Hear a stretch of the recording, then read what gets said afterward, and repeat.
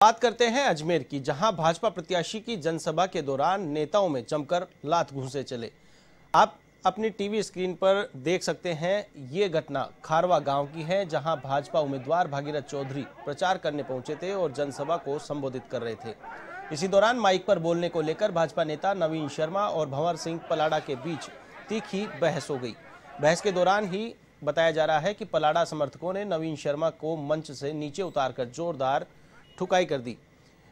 अपने नेता के अपमान से गुस्साए कार्यकर्ताओं ने नवीन शर्मा पर जमकर लात घुस्से बरसाए, जिन्हें बाद में पार्टी के वरिष्ठ नेताओं ने बचाया। हालाँकि इस पूरे घटनाक्रम से पलाड़ा इनकार कर रहे हैं। उनका कहना है कि मारपीट किसने की जानकारी नहीं है। मेरी तो उनसे बहस हुई थी, लेकिन घटना का वीडियो वायरल होने के बाद साफ़ दिख रहा है कि किस तरह से शर्मा को पीटा जा रहा है। हालाँकि दोनों ही पक्षों का कहना है कि वे इसकी शिकायत पार्टी के वरिष्ठ नेताओं से करेंगे, लेकिन इस घटनाक्रम के बाद अजमेर में चर्चा जोरों पर है कि ये क्या हो गया।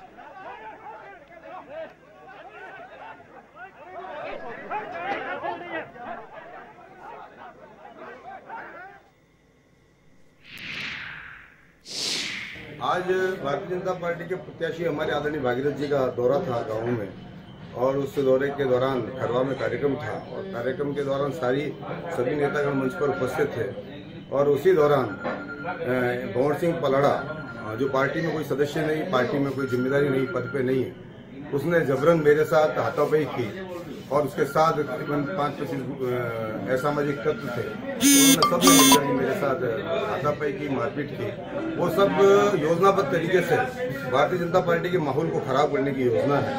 ये चाहते हैं कि यहाँ से हमारे प्रत्याशी को जीत नहीं मिले। ये उनके, ये माहौल खराब करने के लिए आगे होकर ये काम किया देश और दुनिया की हर छोटी बड़ी खबर के लिए सब्सक्राइब करें एवन टीवी न्यूज़ साथ ही बेल आइकन को प्रेस करें ताकि आप पा सकें ताज़ा खबरों की नोटिफिकेशन